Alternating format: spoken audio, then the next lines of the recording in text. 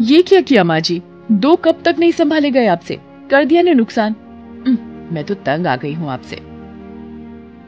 सावित्री देवी को आज फिर अपनी बहू कविता से डांट सुननी पड़ी। ये पहली बार नहीं था जब उनके साथ ऐसा हो रहा था। आए दिन उन्हें अपनी बहू के ताने सुनने पड़ते थे। पति के गुजरने के बाद सावित्री देवी ने बड़ी ही कठिनाई से अपने बेटे रवि का पालन पोषण किया था। खुद हमेशा गरीबी में रही थी। मगर रवि को किसी भी चीज़ की कमी नहीं होने दी थी।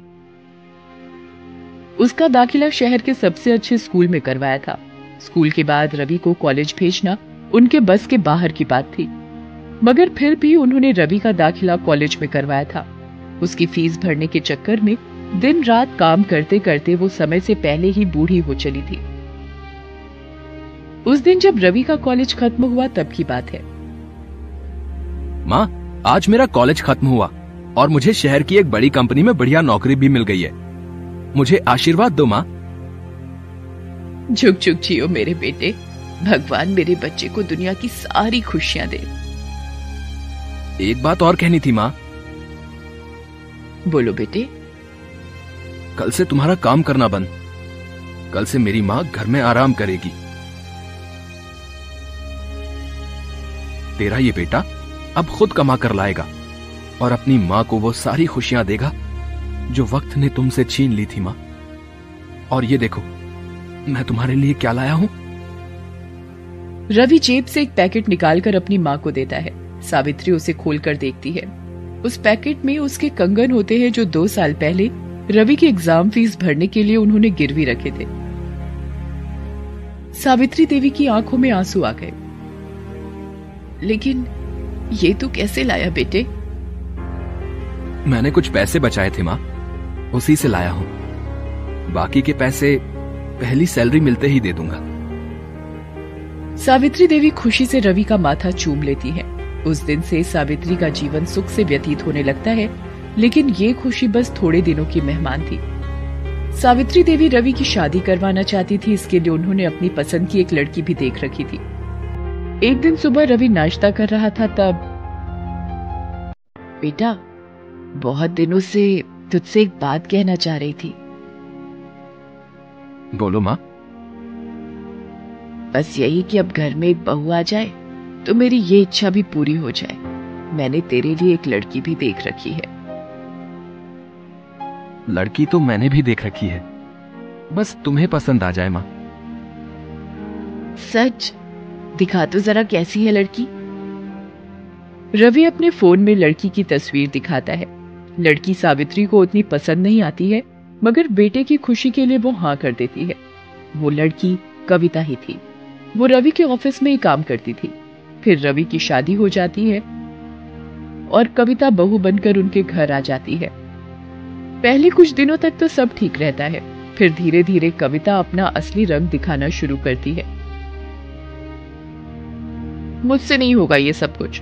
पहले ऑफ़िस से आओ फिर तीन जनों का खाना बनाओ। यही सब करना था तो एक नौकरानी ले आते। मेरी क्या ज़रूरत थी?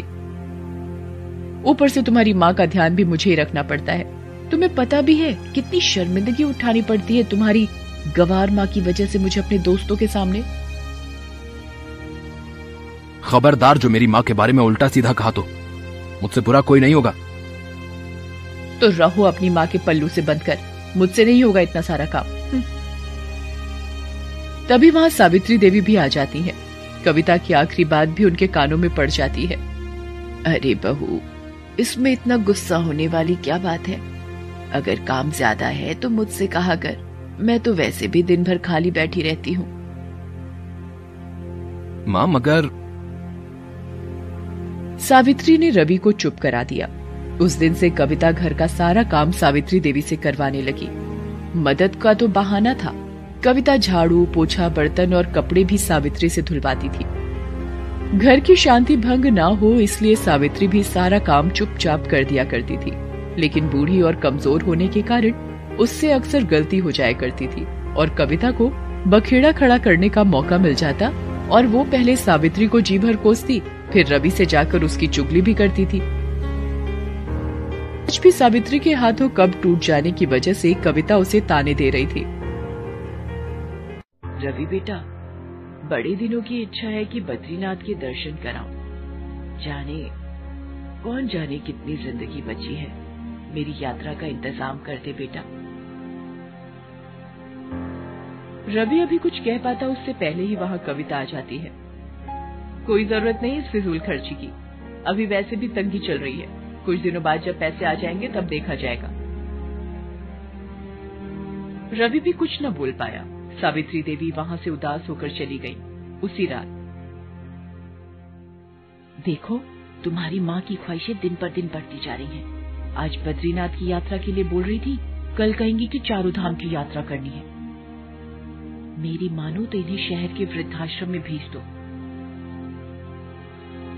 वहाँ ये अपने जैसे लोगों के बीच रहेंगी और वृद्धाश्रम वाले भी साल में एक बार तीर्थ यात्रा के लिए ले ही जाते हैं। रवि भी रोज रोज के इन घर के कलहों से उपता सा गया था। उसे भी कविता की बात अच्छी लगी। इसके कुछ दिनों बाद ही दोनों सावित्री देवी को वृद्धाश्रम छोड़ने पहुँचे। अभी वो गाड़ी से उतरे ही थे कि आश्रम का गार्ड सावित्री को देखकर अपनी कुर्सी से उठ खड़ा हुआ। अरे सावित्री जी, आप? ज़रूर किसी से मिलने आई होंगी। मुझे पहचाना मैं रघुवीर। इससे पहले अनाथालय में था गार्ड है? सावित्री देवी पहले ही दुखी थी। वो अपने दिमाग पर ज़्यादा ज़ोर न दे पाई। बस गार्ड की नमस्ते का जवाब देकर आगे बढ़ गई। माँ का आश्रम में दाखिला कराने के बाद जब रवि बाहर निकल रहा था तब उसे फिर वही गार्ड मिला। क्या आप सावित्री देवी को जानते हैं? जी, बहुत अच्छी तरह से। आज से तीस साल पहले मेरी नई नई नौकरी लगी थी शहर के अनाथ आश्रम में। सावित्री देवी वहाँ अक्सर कुछ न कुछ पैसे देने आया करती थी। एक बार उस आश्रम में किसी ने ऐसे बच्चे को छोड़ा जिसे बड़ी ही भयानक बीमारी थी। सबने सोचा कि अब वो नहीं बचेगा। तब सावित्री देवी ने अपनी सारी ताकत लगाकर उस बच्चे का इलाज करवाया था और उसे मौत के मुँह से बाहर निकाला था। फिर उन्होंने उस बच्चे को गोद ले लिया था, क्योंकि उनकी अपनी कोई संतान नहीं थी और बेचारी के पति का भी देहांत हो गया था। रवि और कविता दोनों उसकी बातों को गौर से सुन रहे थे। रवि को लगा जैसे आज जो उसने पाप किया है, अपनी सगी माँ से बढ़कर प्यार देने वाली स्त्री के साथ। उसकी वजह से वो खुद की नज़रों में ही गिर गया है। वो अब किसी से नज़रें मिलाने के काबिल नहीं रहा। वो वापस आश्रम में जाने लगा। कहाँ जा रहे हो? अपनी माँ को लेने। मगर बस बहुत हो गया तुम्हारा ड्रामा अब मेरी माँ मुझे छोड़कर कहीं नहीं जाएगी। और खबरदार जो मेरी माँ को जरा सी भी तकलीफ़ दी ना तुमने नहीं नहीं, मुझे माफ़ कर दो। मुझसे बहुत बड़ी गलती हो गई। अब मैं माँ को जरा भी तकलीफ़ नहीं दूँगी। इसके बाद दोनों सावित्री देवी को लेकर वापस घर आ जाते हैं और सावित्री के जीवन में खुशियाँ फिर से लौट आती हैं।